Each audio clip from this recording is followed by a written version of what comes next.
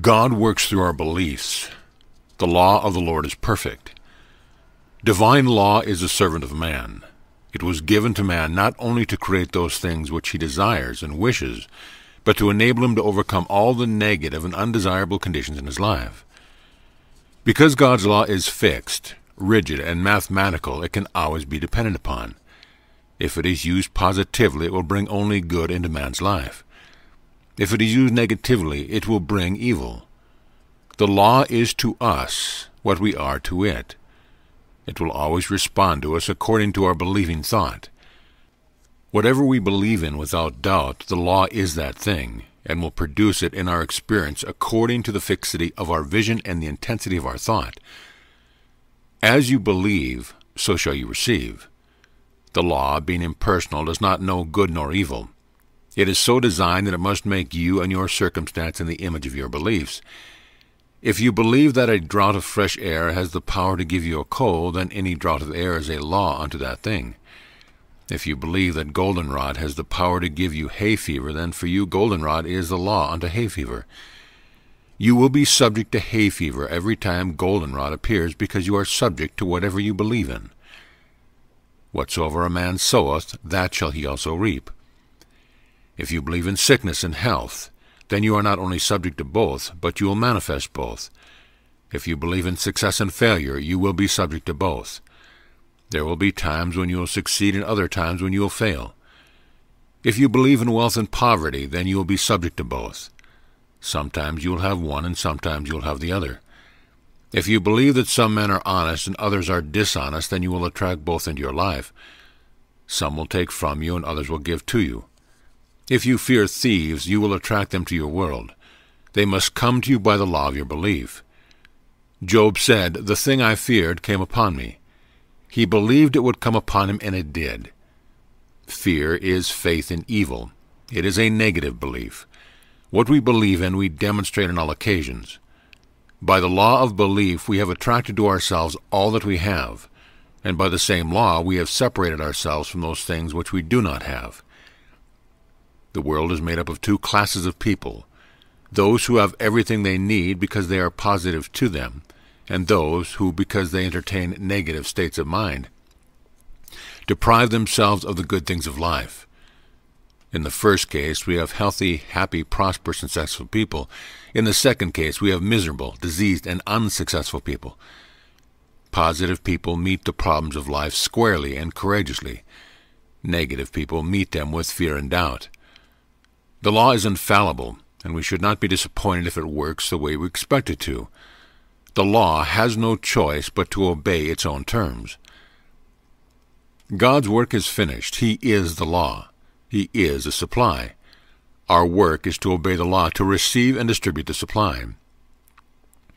If we have been going in the wrong direction for a long time, we must now turn around and go in the right direction. It may take a little while for us to get turned around, but turn we must. When Jesus said, Turn the other cheek, give your cloak with your coat, and go the second mile, he meant that we were to go all the way with the law. How do we do that? By taking absolute control of the mind and by replacing every negative state with a positive state. It would also involve the formation of new habits of thinking, by giving our thoughts and by refusing to give power to adverse and negative conditions, and by refusing to allow ourselves to be the victim of our circumstance. As we cease to give power to the negative by refusing to think about or entertain them, we are calling forth the higher use of the law for the fulfillment of our desires. As our minds become more and more positive to the truth, our material and other conditions will become more and more satisfactory. To obey the law and use it positively and constructively continues to be the rule for all successful achievement. God works through substitutions. Be not overcome of evil, but overcome evil with good. The best way to get rid of the evil in our lives is by refusing to entertain it. The best way to destroy the conscience of poverty is to cultivate the conscience of wealth. The best way to destroy the conscience of sickness is to cultivate the conscience of health. The wise gardener works to make his crop so abundant that it will overshadow the weeds. If we spent all of our time in trying to get rid of negatives in our lives and nothing more, we would finally succeed in producing a state of consciousness, devoid of goodness as well as evil, and it would be good for nothing. St. Paul said, Overcome evil with good. We must substitute. We must choose the truth and stick to it. When the positive idea is introduced, the negative idea dies away. Except ye be converted, ye shall in no wise enter the kingdom of heaven. What is conversion? It is merely a change of allegiance from the negative side of life to the positive side. It is both a change of mind and a change of self. It is not acquiring new things, but a shift in mind, so that you can use the things which you already have. When you are converted, you simply align yourself with the positive elements in life and make them supreme. Man must take the initiative. He must not only put himself and his mind on the positive side, but he must make it the winning side, the dominant side. I find then a law, that when I would do good, evil is present with me. Since we have proved to ourselves that we cannot work successfully in the human mind, we must let it die by refusing to use it to think with.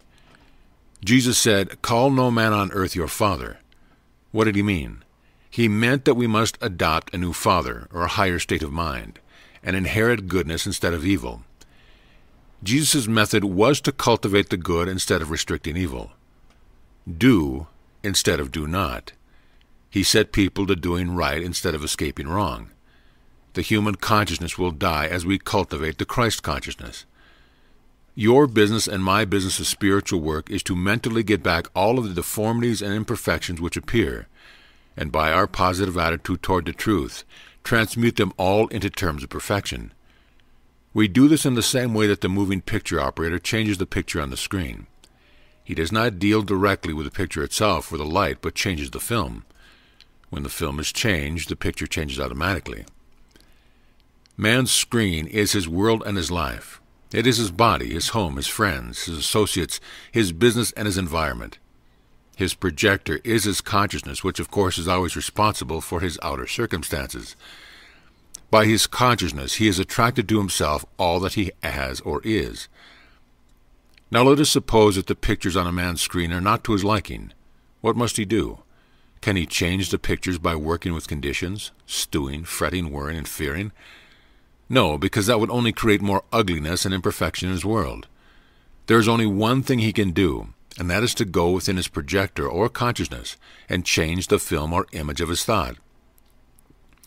If he has been experiencing negative conditions in his environment, then he must replace them with the positive images which the negative represents.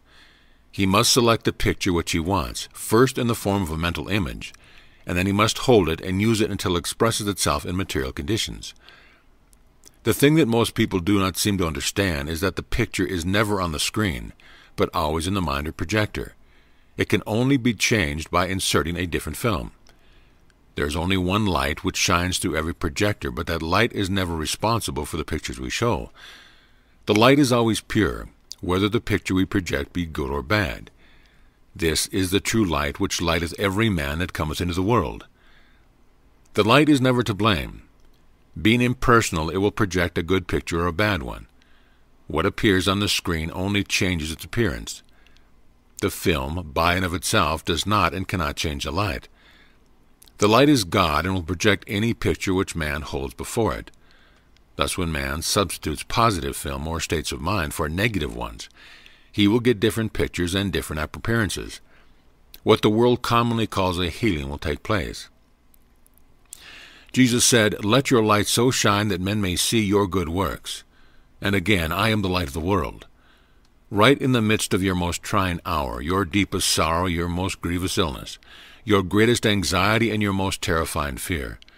God's light is shining, searching out all the dark places in your life. He is in the midst of your greatest failure, offering you success. He is in the midst of your most vexing problem, offering you a solution. He is in the midst of your depleted bank account, offering you supply. Well, that is paradoxical, you say, for how can a God who is love and who perceives only good in his creation allow such limitations, deformity, and defect to appear? He allows them only in the sense that He has given you free choice and volition to think and act as you please. He has given you the power to see what you wish to see, and to believe what you wish to believe. If, therefore, you put His pure light through negative human films, you will bring out imperfect pictures or results. If you pervert his light and power, you will get perverse and distorted conditions. Is it God's fault when you get imperfect pictures? Do your pictures change God or his creation? No, not at all. I, God, change not. How then are human needs to be met? By transforming our negative states of mind into positive ones. It makes no difference what we may think to the contrary. There is one thing certain and patent to all those who have their eyes to see, and that is that a negative state of mind simply cannot produce positive and successful results. It is wise, therefore, if one wants desirable results, to transform every negative state into a positive one. How is that to be done? By being so conscious of God's presence and so positive to the good that we are unconscious of anything in our lives that is unlike God. Instead of human limitations and imperfections, we see the divine possibilities in everything and everybody. Instead of sickness, we see God's wholeness and rely absolutely upon His power to bring it forth. Instead of criticism, we see God's love and divine completion.